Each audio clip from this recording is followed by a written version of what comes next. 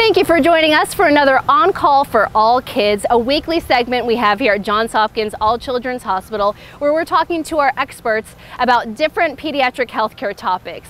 So today we are talking about drowning and how to prevent that with our Dr. Joe Perno. He is an emergency medicine physician here at the hospital. And Dr. Perno, it's that time of year, it's starting to get warmer.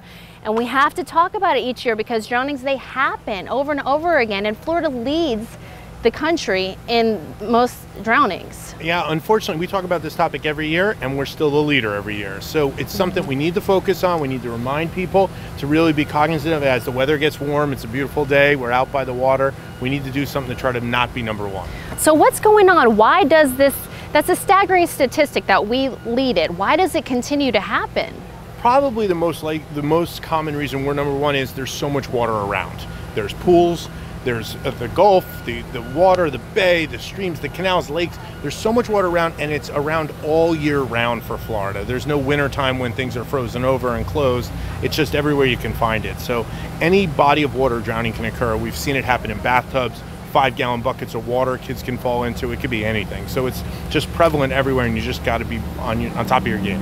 And we were just talking about this as a parent when you go out to the pools, it's not such a relaxing thing because the bottom line is you actually really do have to be on guard. So oftentimes when there's a lot of adults around, people think, great, lots of adults around, but really that's not the case. That's one of my nightmare scenarios. So when there's more adults, I get more worried actually. So when you're at that big summertime barbecue, everybody's there nobody's watching the child and that could be the concern is everybody thinks somebody else is watching. So it's so important to identify someone who's going to watch the children even if it's only in shift work to determine who's watching and keeping out for everybody. And then not only that sometimes people believe that when someone is drowning it's going to be this thrashing around very noisy but oftentimes it's silent. Yes it's because it, the kids will just slip right into the water and go right to the bottom. They're not able to uh, keep themselves afloat, make noise, yell, and scream. They'll just sink right to the bottom like a rock, and it's it's a mm. silent thing. So if you're not watching them, the most common scenario we see is that the kids have disappeared from sight, and then people find them unfortunately at the bottom of the pool. Oh, it's so terrible.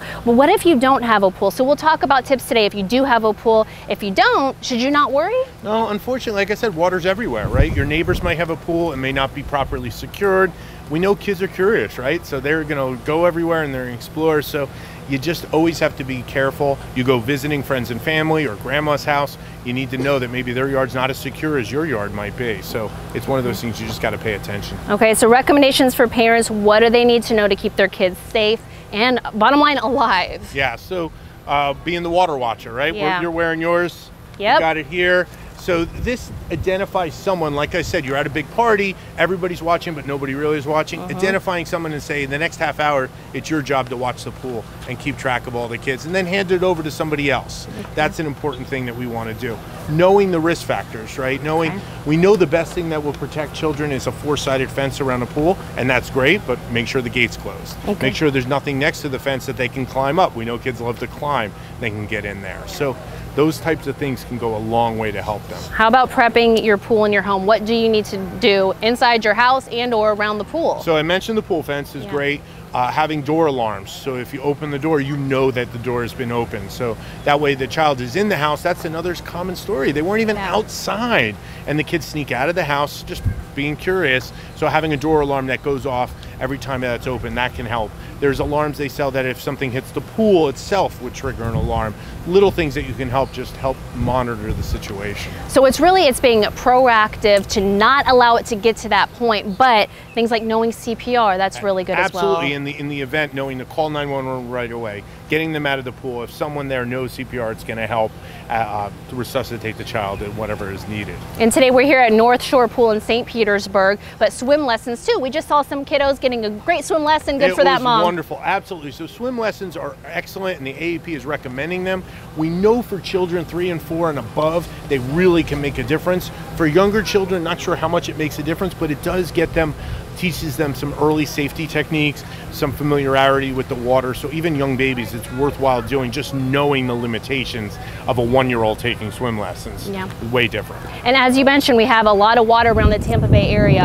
I'm showing a U.S. Coast Guard approved uh, life jackets. Absolutely. So do they have to wear these at all times? You know, it, it if you're on a boat, if you're in an event where you, something along those lines, I think that would be good. If you're playing at the poolside and you're watching them, that's fine.